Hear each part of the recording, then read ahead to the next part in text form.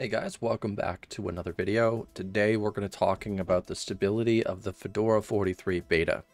We're going to start off with they thought it was a good idea to ship Python 3.14. It's not.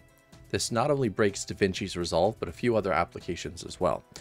The main one being DaVinci's Resolve. And that sucks. For one particular reason, because this is one of the apps that ends up running the best on Fedora. So uh, having it broken is not a good thing. And uh, it tends to bug me a lot. Also, I made this pretty icon. Mm-hmm. Yep. Hope you like it. You can find it in the Discord. Now, uh, with that out of the way, when I went to launch DaVinci's Resolve after the first time installing it, it would crash. Normally, you would do a command to remove outdated libraries that would make it not crash. I already did that. So this crash was something completely different, and I remember the crash log mentioning the fact that Python 3.14 was being used, and that DaVinci's Resolve didn't like that. Uh, thankfully, they did recompile GNOME tweaks to use Python 3.14. Uh, Meson, on the other hand, uh, end up having issues and errors. So I had to completely recompile Meson, Ninja, a whole bunch of other dependencies to use the proper version of Python to be able to build GNOME tweaks again for Python 3.13, which was a complete pain in the ass. So that's my journey so far on making it stable, I guess. Uh, as for gaming, uh, there was some weird issues with gaming. They are minor. Performance for the high parts, one second. Performance for high parts, like if I went to Guild Wars 2 right now, uh, like in areas where I'd normally get 240 FPS, which is the engine's max, I would end up getting only 120, which is not normal. And if I ended up going uh, back into um, a different distro like PikaOS, the max FPS would be 240. So there's definitely something weird going on. Like right here, normally I would get 240. This is one of the lightest areas you could ever possibly imagine. Turn this way, you can see there's 240. Now, um, a very consistent area where you can tell if the Guild Wars 2 developers optimized or not is the Wizard's Tower. You just spawn in, just like I'm doing right now. Probably don't have very much gold left, so... And then that's it. You just stay right here. And if you get 80 to 84 FPS, great, because it used to be 50. So the performance has definitely gone up. And you do this. Yep, that's about 70. And you zoom all the way in. Just look up a little bit. And the FPS cripples itself. Because you're looking at way more. But if you want better FPS, just look down. Yeah. But normally when turning around, just like this, you would normally get 304. You get 240 FPS no matter who you are. And uh, as you can see, our CPU is barely doing anything. Our GPU is barely doing anything. And I don't know what is going on with the performance, but for some reason it's just missing. So let's try to max out the shadows. Yeah, see, that shouldn't happen because our GPU barely went up, right? Let's just max everything out. Our GPU is going down in uh, performance here, like uh, in percentage being utilized. The more we push it, the more it hurts. And this is not normal. Like right there, I increased the resolution internally and the performance that the GPU utilization went up. Okay, so we're going to Alt F4 to there, and I think I just figured out the reason why it's doing this. It's so, so, so stupid. Watch this. Launch with integrated. Fedora 43 has this weird issue where um, it's launching Steam with the 4070 even though it's in the second slot instead of the primary slot. So this is the bug that we're leading up to. We're getting there, okay? Ooh, skimmers are going to get an update in the new DLC, in the new expansion. Okay, so now we are using, as you can see, 16 gigs of VRAM. We're using the 9070 XT, okay? And let it load in. Hopefully this doesn't take too long, because it shouldn't. It's on a very, very fast NVMe. But then again, it has to rebuild some stuff, I guess. Alright.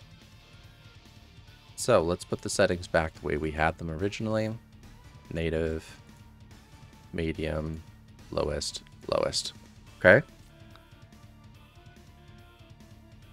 But, as you can see, the FPS is still not where it should be because it's still not treating the GPU properly. Head over here. We have a little bit better FPS. That's because we switched to a more powerful GPU. But, again, this FPS is not normal. Not by a long shot. So, performance is a little bit all over the place, and that's unfortunate. I'm not sure if that has to do with the Mesa drivers, but if it happens on NVIDIA as, uh, on NVIDIA as well, then it's also a problem. Now, I could always maybe, let's see, do we have the ability to change the, no, we don't. See, now we're getting a little bit better performance because we're not rendering anything. But looking out into this void, this is what the FPS should be, but over there. It's not. And that is very, very sad. So I don't know what is happening, but performance loss is never good.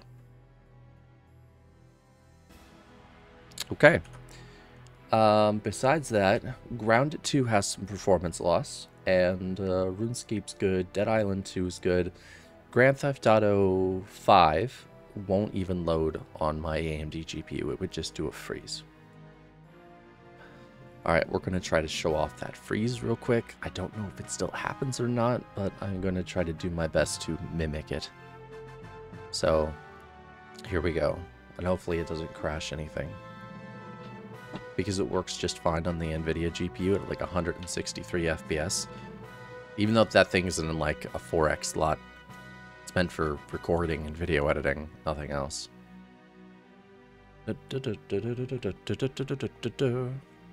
Now, other than these issues, stability on 43 is actually a lot better than it is on 42, uh, which means Fedora's glory days are back, and I'm very, very excited and happy about that.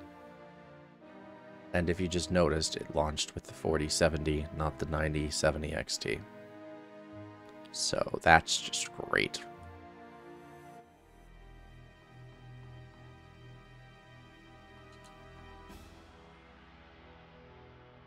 So now I have to restart the game. All right, game is restarted. Let's load this thing up. 16 gigs of VRAM, that's what we want to see. Good. Now, testing like this was done on live stream. From installation, I just installed OBS and we started streaming. So nothing was done that could possibly interfere with anything. Uh, there is this weird bug with an extension where if I have it enabled and I move a window to another monitor, uh, it will crash out to login. I actually disabled that plugin and everything works fine. Extension, whatever you want to call it. There you go. Okay, so loading up. I got a freeze on live stream. Let's see if it still freezes.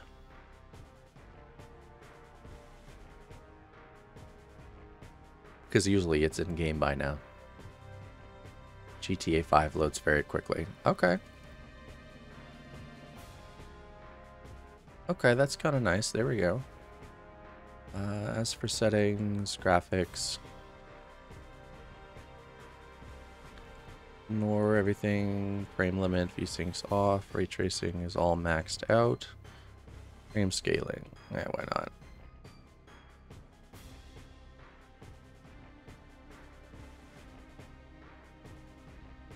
Let's jump in the good car.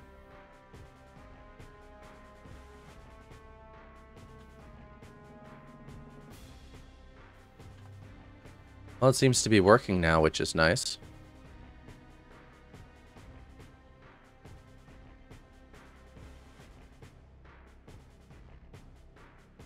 Well, why not, Franklin? It's not like you're driving.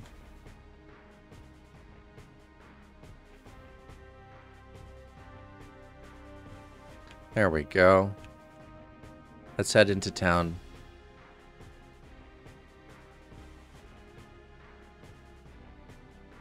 Alright, well, that's pretty clear that things are no longer crashing, and that's because there was a Mesa update later earlier today. So, that's something.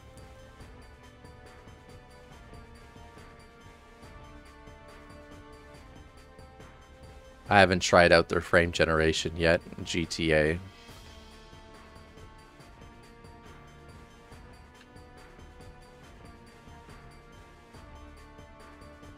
Ooh, motorcycle. Hmm, frame generation seems to work pretty well. So I'm glad that they fixed this issue when they updated Mesa.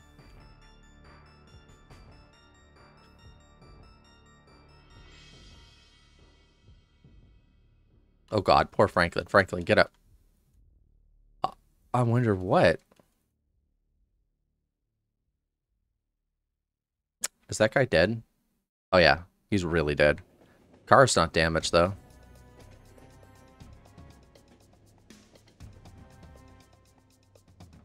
So, moving on from all of this, uh, my initial takeaway so far from last couple days of using this is, yeah, it's a lot more stable than Fedora 42, minus some minor performance issues, which will probably be fixed later on.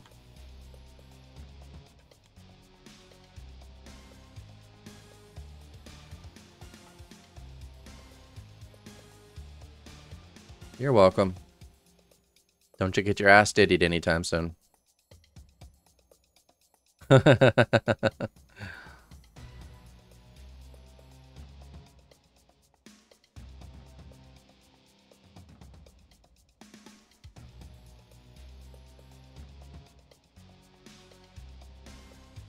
Alright, there we go. Now he doesn't need to worry about his bike anymore. keep it up, Fedora. This is all I'm asking you, is to keep it up. So far, you're heading down a good way. All I'm asking is that you keep going in the right direction. We do not need another Fedora 42. We need Fedora 43 to fix every one of the bugs, every one of the issues, and not to KDE itself into destruction. Okay? That's all I'm asking. Um, I will probably be attempting to test KDE 6.5. I'm not sure if I should do it in a virtual machine or an install of Arch Linux. I will figure something out. But uh, with that, I am off. I hope you guys enjoyed the video. I know it's not as in-depth as normal, but that's how you know it's really good, because I haven't really said very much. Anyway, I'm going to go drive around for the next five minutes and then go to bed. See you at 9 a.m. Subscribe and like the video. Yeah, you right there.